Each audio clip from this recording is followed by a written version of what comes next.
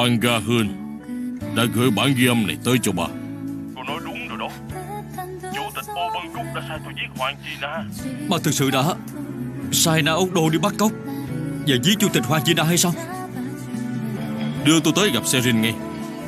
Cô chính là người đã đưa cô vào bệnh viện tâm thần cho nên cô sẽ có cách thả cô ra.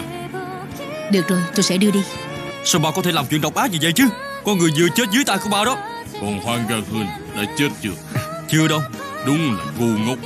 Bây giờ Na Úc Đô chết rồi. Bản ghi âm lời thú tội của hắn cũng trở nên vô dụng. Đây mới chỉ là quả bom đầu tiên. Thư Kiều An bật lên giùm tôi đi. Bây giờ chơi quan đã một ruộng tới tận xương tủy rồi. Ông hãy ra mà đầu thú đi. Nếu không thì tôi sẽ mang cái này lên nộp cho viện kiểm sát. Đây chính là lời cảnh cáo cuối cùng của tôi